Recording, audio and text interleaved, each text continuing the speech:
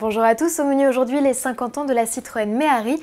On vous présente aussi sa descendante, la e revue et corrigée par le créateur Jean-Charles de Castelbajac. Enfin, on célèbre les 70 ans de Land Rover et des initiales DB chez Aston Martin.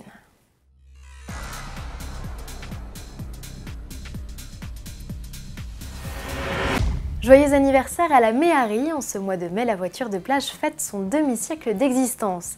Cette concurrente française de la célèbre Minimoque tire son nom d'un dromadaire.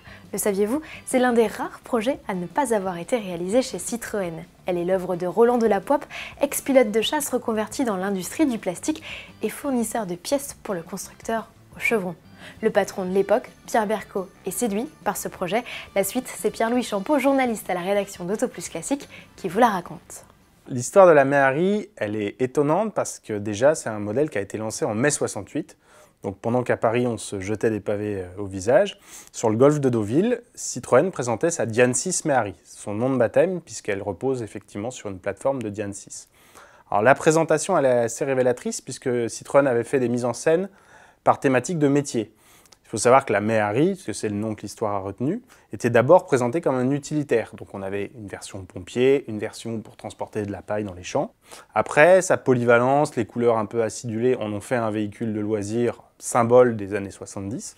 Quand Renault a tenté une première riposte avec la Renault 4 plein air, c'est par exemple tout ce côté pratique et fonctionnel qui lui manquait. Sur la Rodeo qui arrivera par la suite, ça sera un peu plus développé, mais, mais au départ, c'était ça aussi ce qui manquait à la concurrence, c'est le côté ultra pratique. On peut enlever les portes, la capote, rabattre le, pare-brise. On a juste une baignoire en plastique, donc qui est insensible à la corrosion, contrairement au châssis d'ailleurs, et qui, se lave voilà, d'un simple jet d'eau. Aujourd'hui, c'est une voiture de collection, comme toute la famille de chevaux, à quelques exceptions près.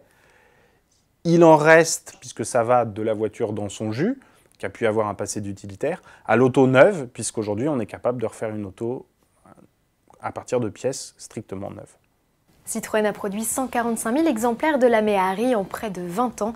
À ce jour, il n'en resterait que 760 en circulation et sans surprise, c'est sur la côte, particulièrement atlantique, que vous en trouverez le plus.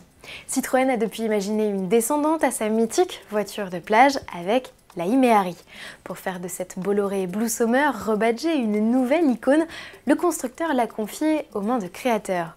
Courage pour une saille spéciale et récemment Jean-Charles de Castelbajac.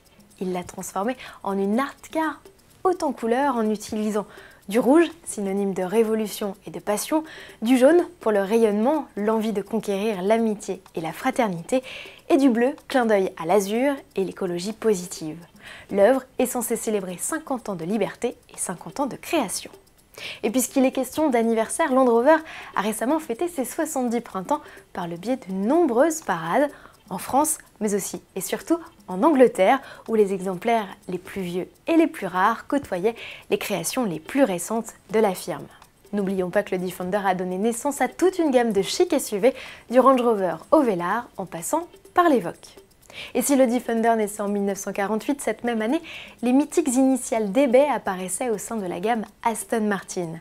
La première à les avoir portées, c'est la 2 Liter Sports, plus connue sous le nom de DB1. Elle fut suivie par la DB2 en 1949, premier modèle de la famille à recevoir un 6 cylindres. Puis vint en 1963 la DB5, rendue célèbre par James Bond.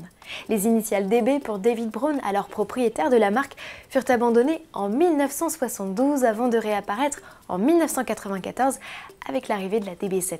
La lignée s'est ensuite poursuivie avec les DB9, DB10, rien que pour James Bond encore, et aujourd'hui DB11.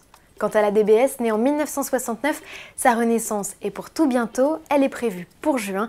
Elle remplacera à son arrivée la Vanquish. On espère que ce JT vous a plu et on se retrouve dès vendredi.